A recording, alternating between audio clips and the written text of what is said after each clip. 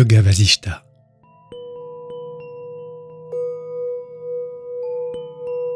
L'histoire de Lila. Première partie. Vasishta poursuivit. Cher Rama, de même que du point de vue de la veille, les objets perçus en rêve, lesquels, pendant le rêve, paraissent pourtant bien tangibles au dormeur, n'ont aucune consistance. Ce monde donne l'impression d'être matériel, alors qu'en réalité, il est pure conscience. Un mirage ne contient pas trace de cours d'eau, provisoire ou subtil, et, semblablement, il n'existe pas davantage de monde réel, mais seulement de la pure conscience. Seule une connaissance fondée sur l'ignorance s'accroche à l'idée d'un monde. En réalité, il n'y a pas de différence de sens entre les mots monde, Brahman ou l'infini et le soi. Pour Brahman, le monde est aussi véritable que la ville dans un rêve pour l'expérience de la conscience à l'état de veille. D'où monde et conscience cosmique sont synonymes. Afin de rendre tout cela limpide, cher Rama, je vais maintenant te conter l'histoire de Mandapa. Je te prie d'y prêter une oreille attentive. Il était une fois sur cette terre un roi appelé Padma. Il était parfait à tous égards, et par sa nature et sa conduite, il rehaussa la gloire de sa dynastie. Il honorait les traditions religieuses autant que l'océan respecte l'autorité du rivage. Il soumettait ses ennemis ainsi que le soleil met l'obscurité en déroute. Tout comme le feu réduit le foin en cendres, il détruisait le mal dans la société. Les saints avaient recours à lui aussi volontiers que les dieux s'adressent au ciel. En lui, la vertu avait élu domicile. Il faisait autant trembler ses ennemis sur le champ de bataille qu'un grand vent ébouriffe une vigne vierge. C'était un érudit et un homme versé dans les arts. Il était en mesure d'accomplir n'importe quel exploit, car pour lui comme pour le seigneur Narayana, il n'y avait rien d'impossible. Ce roi avait une épouse du nom de Lila. C'était une femme magnifique qui possédait de nombreux talents. On aurait dit qu'en elle la déesse Lakshmi, l'épouse de Narayana, s'était incarnée sur terre. Elle s'exprimait d'une voix suave, possédait une démarche lente et gracieuse, et son sourire répandait le frais délice du clair de lune. Son corps était aussi pur et clair que les eaux de la Ganga sacrée, et, de même que le contact de ces eaux génère la félicité, la toucher provoquait la béatitude. Très dévouée à son époux Padma, elle savait le servir et lui être agréable. Très unie au roi, elle partageait ses joies et ses peines. Elle était en fait l'alter ego de Padma, à une exception près. Lorsque le roi s'emportait, elle ne reflétait que la peur. Le roi Padma et la reine Lila menaient une existence idéale. Sur le chemin de la vertu, ils profitaient de la vie de toutes les manières possibles. Ils possédaient la jeunesse et la fraîcheur des dieux, et se manifester l'un à l'autre un amour pur, naturel et intense, dénué de tout artifice. Un jour, la reine Lila se dit Le plus beau roi qui est mon époux m'est encore plus cher que ma propre vie. Que me faudrait-il faire pour nous permettre de goûter indéfiniment les délices de la vie? Je vais pratiquer sur le champ les austérités que proposent les saints, afin de parvenir à mes fins elle alla consulter les saints. Les saints lui dirent Chère reine, les austérités ou la pénitence, la répétition des mantras et une vie astreinte à la discipline t'accorderont sûrement tout ce qu'il est possible d'atteindre en ce monde. Mais l'immortalité physique n'est pas envisageable ici-bas. Après avoir pesé ses conseils, la reine prit une décision. Si d'aventure je mourrais avant mon époux, je connaîtrai la connaissance de soi et serai délivré de la souffrance et de l'affliction. Mais si c'est lui qui part avant moi, je dois m'efforcer d'obtenir des dieux la faveur suivante, que son jiva ne quitte pas notre palais. Je serai heureuse d'y habiter en sachant qu'il est toujours avec moi. Résolu dans ce sens, Lila entreprit de s'attirer les grâces de la déesse Sarasvati, sans rien dire de ce projet à son époux. Tous les trois jours, elle dînait après avoir dévotement révéré le Seigneur, les saints, le précepteur, les doctes et les sages. Elle était intimement persuadée que cette pénitence porterait ses fruits. Cette conviction renforça grandement la pratique de la pénitence qu'elle s'était imposée. Celle-ci n'affecta en rien sa façon de servir le roi, qui ignorait tout du dessein de son épouse. Après cent soirées ainsi consacrées à rendre un culte à la déesse Sarasvati, celle-ci lui apparut et lui accorda les faveurs de son choix. Lila lui adressa la requête suivante. Mère divine, accorde-moi deux faveurs. La première, quand mon époux quittera son corps, fais que son jiva demeure dans le palais. Et la seconde, à chaque fois que je te prierai, fais-moi la grâce de te rendre visible. Sarasvati accorda ces deux faveurs avant de disparaître. Le temps passa inexorablement. Mortellement blessé au cours d'un combat, le roi Padma mourut au palais. La reine Lila sombra dans l'affliction. Elle était inconsolable. Alors qu'elle était ainsi accablée de chagrin, une voix d'un autre monde lui adressa la parole. La voix surnaturelle de Sarasvati lui dit ceci. Mon enfant, couvre de fleurs le corps du roi défunt. Ainsi, il ne se décomposera pas. Ton époux ne quittera pas le palais. Lila s'exécuta. Elle n'était pourtant pas satisfaite. Elle avait le sentiment de se trouver dans la situation d'un homme riche qui se serait fait flouer et aurait sombré dans la misère. Elle invoqua à nouveau la déesse qui réapparut devant elle. Mon enfant, pourquoi es-tu affligé? Comme l'eau d'un mirage, le chagrin est une illusion. Lila lui demanda Je t'en prie, réponds-moi. Où se trouve mon époux? Sarasvati répondit Cher Lila, il existe trois sortes d'espaces l'espace psychologique, l'espace physique et l'espace infini de la conscience. Celui-ci est le plus subtil des trois. Une intense méditation sur cet espace infini de la conscience peut te permettre de voir et de goûter la présence d'une personne, comme ton mari, dont le corps se trouve dans cet espace infini, même si tu ne le vois pas ici.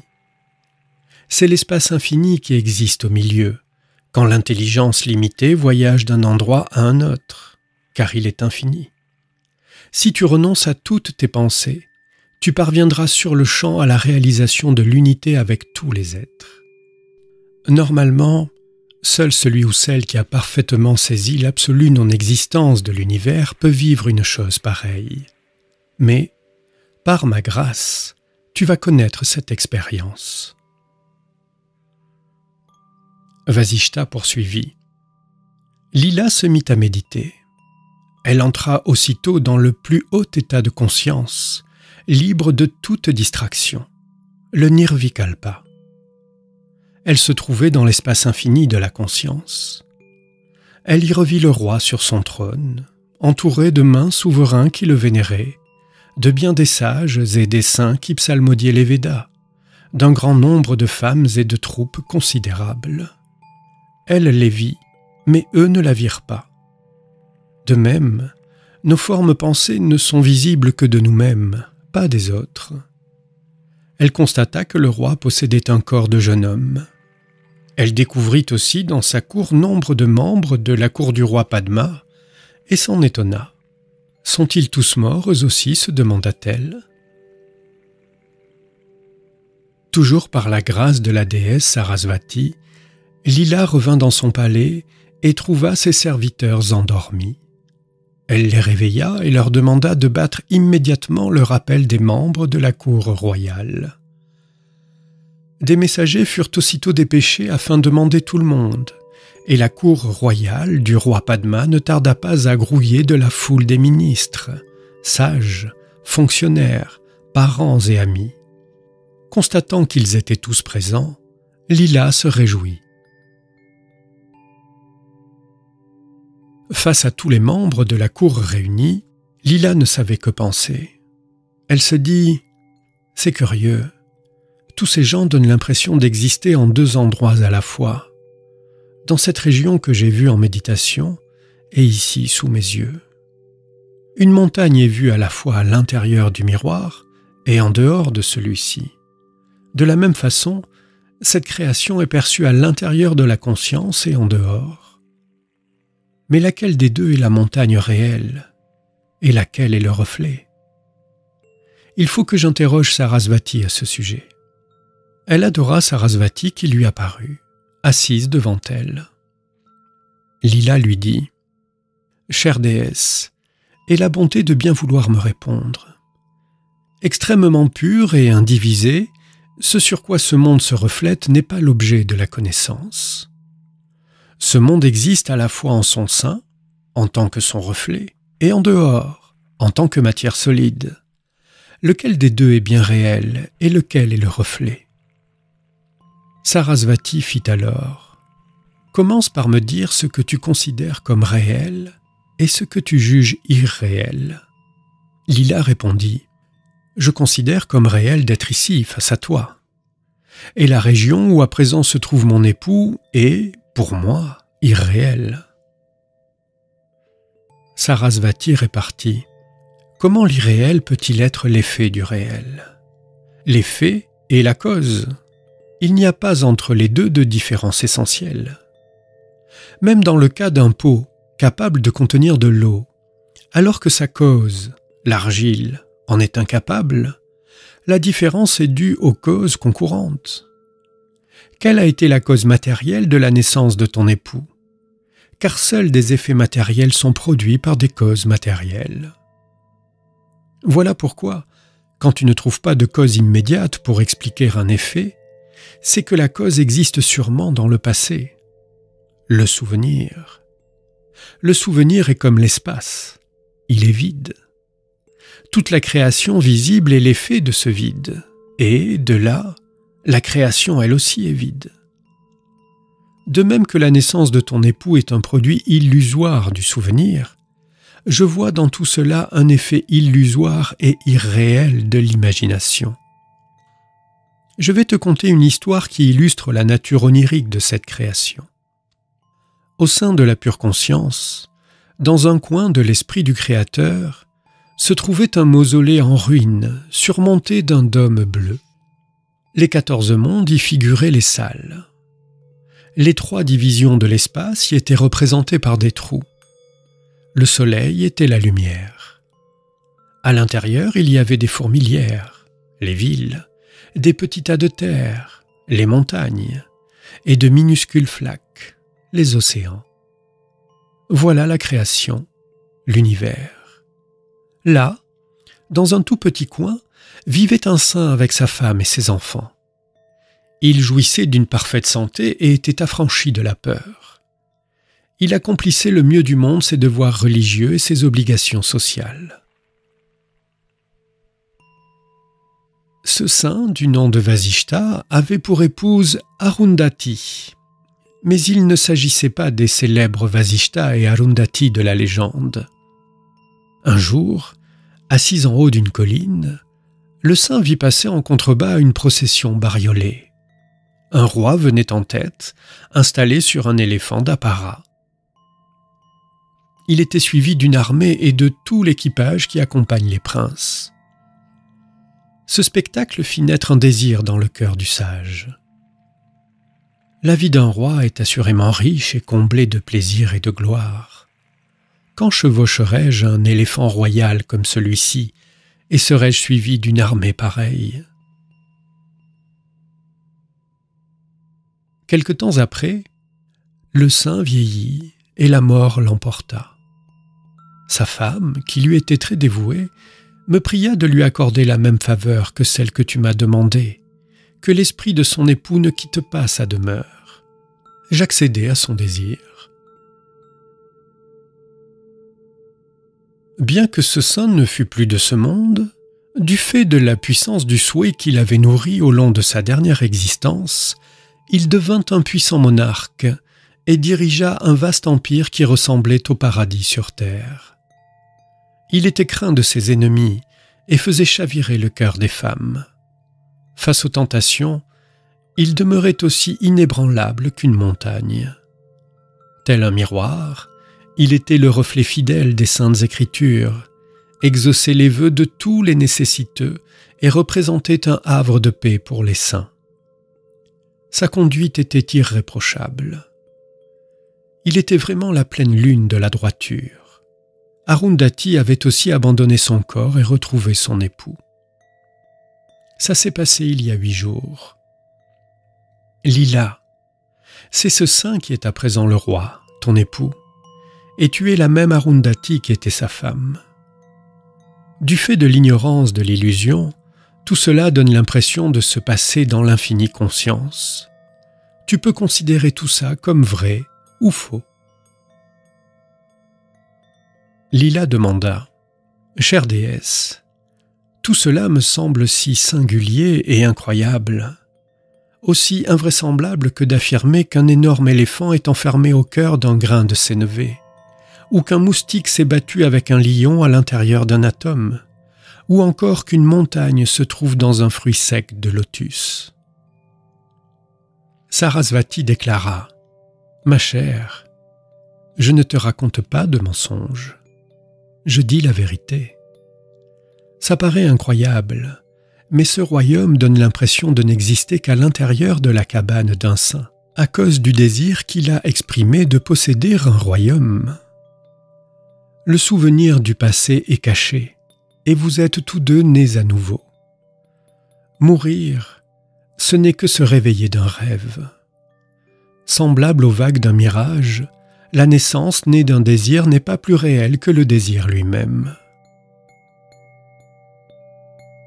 Sarasvati poursuivit. Lila, ta maison, toi, moi et tout cela est pure conscience, rien d'autre ta demeure elle-même était dans la maison du saint Vasishta. Dans l'espace de son jiva existaient les fleuves et les montagnes, et ainsi de suite. Même après la création de tout cela à l'intérieur de la maison du saint, celle-ci demeura identique à ce qu'elle était avant. En effet, en chaque atome se trouvent des mondes à l'intérieur de mondes.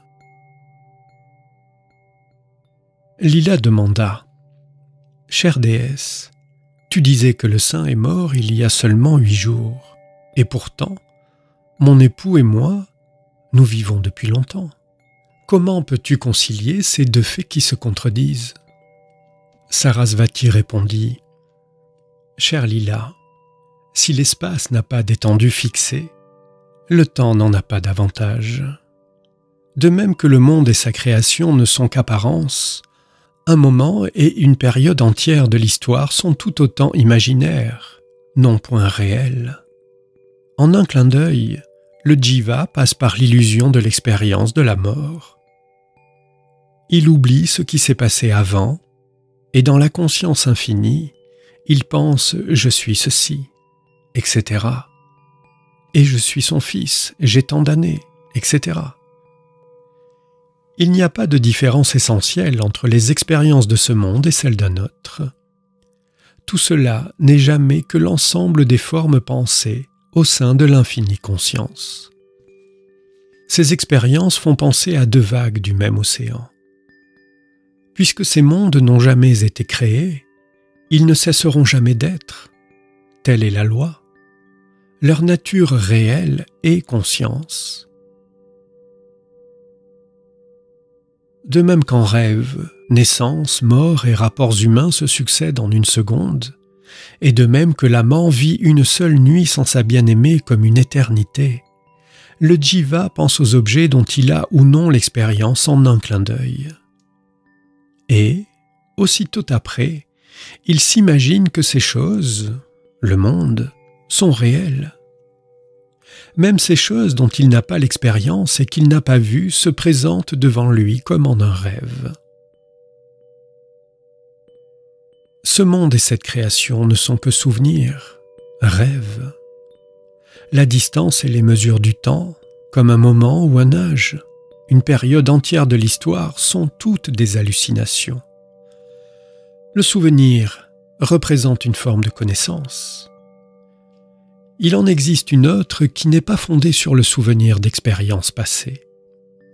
C'est la rencontre fortuite d'un atome avec la conscience, qui est alors en mesure de produire ses propres effets. La libération est la prise de conscience de l'absolue non-existence de l'univers en tant que tel. Ce n'est pas la même chose qu'une simple négation de l'existence de l'ego et de l'univers. Cette dernière n'est qu'une moitié de connaissance. La libération est réaliser que tout cela est pure conscience.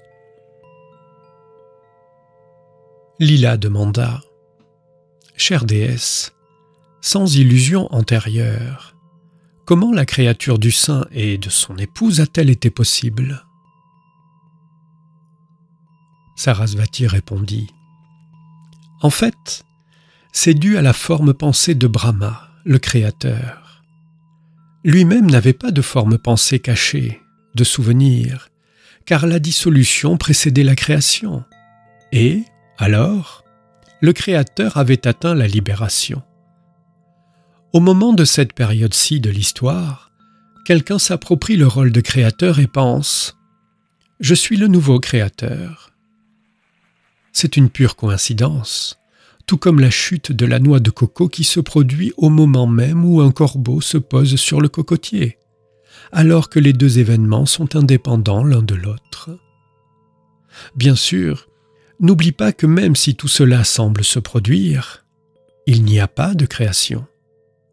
L'unique conscience infinie est, seule, forme pensée ou expérience, il n'y a pas de relation de cause à effet. Cette cause et cet effet ne sont que des mots, pas d'effet. Le conscient infini est à jamais dans l'infinie conscience. Lila dit Déesse, tes paroles m'éclairent vraiment. Pourtant, comme je les entends pour la première fois, leur sagesse n'est pas bien fondée. Je souhaite voir la maison originale du saint Vasishta. Sarasvati répondit Cher Lila, abandonne la forme qui te tient tant à cœur et accède à l'intuition purement spirituelle. Car seul Brahman peut vraiment voir ou réaliser Brahman. Mon corps est fait de pure lumière, de pure conscience. Ton corps ne l'est pas. Avec ce corps qui est le tien, tu ne peux même pas visiter les endroits de ta propre imagination. Alors comment peux-tu pénétrer l'étendue de l'imagination d'autrui? Mais si tu parviens au corps de lumière, tu verras immédiatement la demeure du Saint. Dis-toi avec conviction, je vais abandonner mon corps ici et prendre un corps de lumière. Avec ce corps, tel le parfum de l'encens, je vais aller à la maison du Saint. De même que l'eau se mélange à l'eau, tu fusionneras avec le champ de conscience. Par la pratique assidue de cette méditation, même ton corps ne fera plus qu'un avec la pure conscience et deviendra subtil. Car même ce corps, je le vois en tant que conscience. Toi non, car tu vois le monde de la matière, de même qu'un ignorant serait capable de prendre une pierre précieuse pour un caillou. Une telle ignorance apparaît spontanément, mais se voit dissipée par la sagesse et l'investigation quant à la vraie nature du soi. En fait, même une telle ignorance n'existe pas. Il n'y a ni absence de sagesse, ni ignorance, ni servitude, ni libération. Il n'est qu'une conscience pure, seule et unique. Sarasvati dit Cher Lila, en rêve, le corps de rêve donne l'impression d'être réel. Mais quand on s'éveille au fait du rêve, la réalité de ce corps disparaît. Semblablement, soutenu par le souvenir et les tendances latentes, on constate l'irréalité du corps physique après avoir constaté celle des souvenirs et des tendances cachées. À la fin du rêve, on devient conscient du corps physique. À la fin de ces tendances, on devient conscient du corps subtil. Quand le rêve prend fin, le sommeil profond s'ensuit. Quand périssent les semences de la pensée, on est libéré. Dans la libération, les semences de la pensée n'existent pas. Si le sage libéré donne l'impression de vivre et de penser, ce n'est qu'une impression, comme un torchon brûlé qui gît par terre. Toutefois, ce n'est ni comme le sommeil profond ni comme l'inconscience où, dans ces deux cas, les semences des pensées ne sont que cachées. Une pratique assidue, abhyasa, permet d'apaiser l'égoïté. Alors on repose naturellement dans sa conscience et l'univers perçu se dirige vers le point de fuite. Qu'appelle-t-on pratique? Penser à cela à l'exclusion de toute autre chose, en parler, en discuter à plusieurs, s'y consacrer totalement. Voilà ce que les sages appellent abhyasa ou pratique. Quand l'intellect est comblé de beauté et de félicité, que la vision se fait vaste, que l'aiguillon du désir charnel n'excite plus, cela est la pratique. Quand l'homme est fermement établi dans la conviction cet univers n'a jamais même été créé et n'existe donc pas en tant que tel, et quand des pensées du type Cela est le monde, je suis cela, n'apparaissent plus du tout, voilà ce qu'est Abhyasa, la pratique. C'est alors que l'attirance et la répulsion ne se manifestent plus. Triompher de l'apparence et de la répulsion par la volonté et de l'ascétisme, pas de la sagesse. La nuit tombait et la cour se dispersa. Le lendemain, tout le monde se retrouva de bonne heure et Vasishta poursuivit dans le droit fil. Vasishta reprit donc son récit. Rama, Sarasvati et la reine Lila accédèrent immédiatement à la méditation profonde, ou Nirvikalpa Samadhi. Elles s'étaient élevées au-dessus de la conscience du corps. Parce qu'elles avaient renoncé à toute notion de monde, celui-ci avait totalement disparu de leur conscience. Elles voyageaient librement dans leur corps de sagesse. Elles avaient le sentiment d'avoir parcouru des millions de kilomètres dans l'espace. Elles se trouvaient pourtant dans la même pièce, mais sur un autre plan de conscience. Vasishta poursuivit. En se tenant la main, Sarasvati et Lila s'élevèrent lentement pour atteindre de lointaines contrées de l'espace. Cet espace était intensément pur et totalement vide. Elles se reposèrent au sommet du mont Meru, l'axe de la Terre, et furent témoins d'innombrables spectacles passionnants en s'éloignant de l'orbite de la Lune. Elles voyagèrent à l'intérieur d'immenses formations nuageuses et pénétrèrent dans l'espace infini matrice et source d'êtres sans nombre dans des mondes infinis. Au sein du cosmos, elles découvrirent les sept grandes montagnes aussi rayonnantes que le feu de la dissolution. Elles contemplèrent des plaines dorées près de Mérou, et elles rencontrèrent la plus impénétrable forme d'obscurité. Elles virent des siddhas, des êtres dotés de pouvoirs surnaturels. Elles virent des nuées et des nuées de démons, de gobelins et d'autres esprits. Elles virent des vaisseaux sillonner toutes les régions de l'espace. Elles virent chanter et danser des nymphes célestes. Elles virent des oiseaux et des animaux de toutes sortes. Elles virent des anges et des dieux. Elles virent de grands yogis en possession de toutes les qualités les plus magnifiques. Elles virent la demeure du Créateur, la demeure de Shiva et d'autres. Semblables à deux moustiques, elles visitèrent tous ces plans. Bref, elles virent tout ce qui se trouvait déjà dans l'esprit de Sarasvati et que Sarasvati voulait montrer à la reine Lila. On aurait dit le lotus du cœur. Les directions qu'elles avaient empruntées en figuraient les pétales. L'enfer correspondait à la boue dans laquelle il pousse, et le lotus était maintenu par le serpent divin qui en constitue la racine.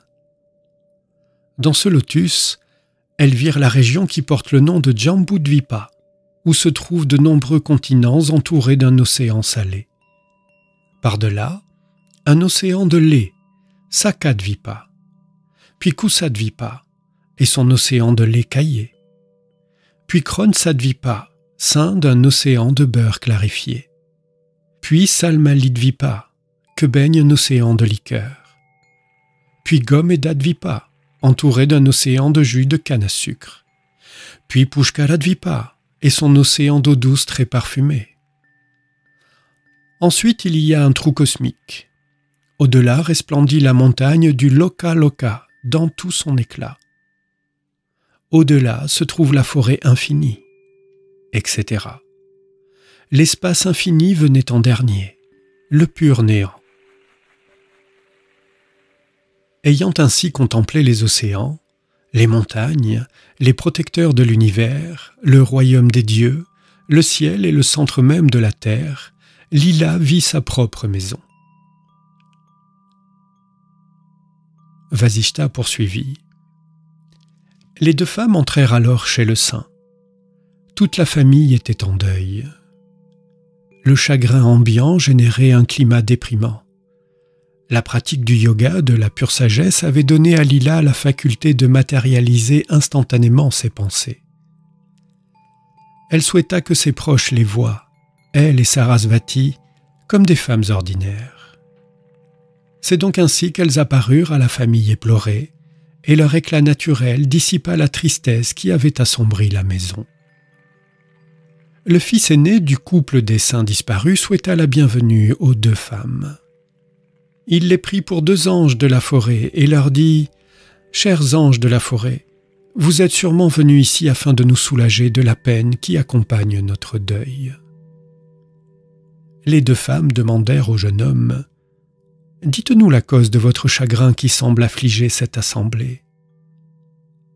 Le fils du couple des saints répondit Chère dame, dans cette maison même vivait un homme pieux et son épouse fidèle tous deux voués à une vie exemplaire.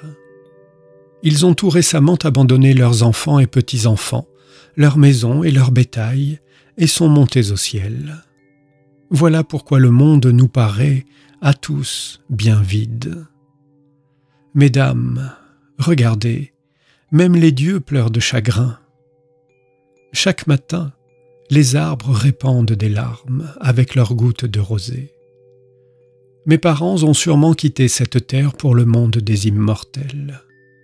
À ces mots, Lila posa la main sur la tête du jeune homme dont la peine se dissipa sur le champ. Devant pareil spectacle, tous les autres furent également débarrassés de leur chagrin. Rama demanda Grand sage, comment se fait-il que Lila ne soit pas montrée à son fils comme sa mère véritable? Vasishta répondit Rama, celui qui a saisi l'irréalité des substances matérielles ne voit partout que l'unique conscience indivisée. Une personne qui rêve ne voit pas ce monde. Un homme plongé dans un coma profond voit même peut-être l'autre monde. Lila avait réalisé la vérité. Pour qui a réalisé la vérité que Brahman, le soi, etc., ne sont tous qu'une seule conscience infinie. Qu'est-ce qu'un fils, un ami, une épouse, etc. Même le fait qu'elle ait posé la main sur la tête du jeune homme était l'expression spontanée de la grâce de Brahman. Vasishta poursuivit. Ayant ainsi béni la famille du saint qui était mort, les deux femmes disparurent. Lila se tourna vers Sarasvati pour lui poser une question. Bien sûr, dans cet état, leur corps n'était ni fait de matière comme la terre, ni de facteurs psychosomatiques comme le souffle de la vie. On eût dit deux créatures sorties tout droit d'un songe, en pleine conversation.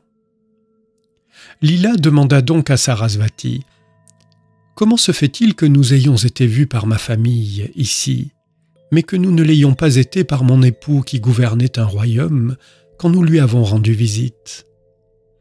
Sarasvati répondit À ce moment-là, tu t'accrochais encore à ta conviction Je suis Lila.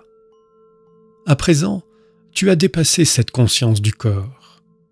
Tant que la conscience de la dualité n'est pas complètement dissipée, tu ne peux pas agir dans la conscience infinie. En fait, tu n'es pas davantage en mesure de la comprendre qu'un individu qui cuit au soleil connaît la fraîcheur de l'ombrage. Mais si tu retournes voir ton mari maintenant, tu pourras avoir avec lui les mêmes rapports qu'autrefois. Lila dit C'est exactement ici que mon mari vivait en saint homme et que moi j'étais son épouse. Ici même que j'étais sa reine. C'est toujours ici qu'il est mort et toujours ici qu'il règne à présent. S'il te plaît, emmène-moi à l'endroit où je peux le voir. Sarasvati dit Lila, toi et ton mari, vous avez connu bien des incarnations. Dans celle-ci, le roi s'est embourbé profondément dans le piège du monde, et il s'est dit Je suis le Seigneur puissant, heureux, etc. Même si, du point de vue spirituel, l'univers entier est vécu ici, du point de vue physique, des millions de kilomètres séparent les deux plans. Au sein de la conscience infinie, en chacun de ces atomes, des univers vont et viennent, tels des particules de poussière dans un rayon de soleil qui filtre à travers le trou d'un toit. Ces univers vont et viennent, ainsi que les ondulations de l'océan. Lila dit Depuis que j'ai émergé en tant que reflet dans la conscience infinie, j'ai connu 800 naissances. J'ai été nymphe, mauvaise femme, serpent, primitive vivant en pleine forêt au sein d'une tribu. À cause d'actes malveillants, je suis devenue plante rampante, puis, par la proximité des sages, fille d'un sage. Je suis devenu roi, et à cause de mauvaises actions commises en tant que souverain, je me suis retrouvé moustique, abeille, cerf, oiseau, poisson. Puis je suis redevenu créature céleste, puis tortue, cygne et à nouveau moustique. Tels les plateaux de la balance qui ne cessent d'osciller, j'ai été prise dans le jeu de bascule de cette existence répétitive, le samsara.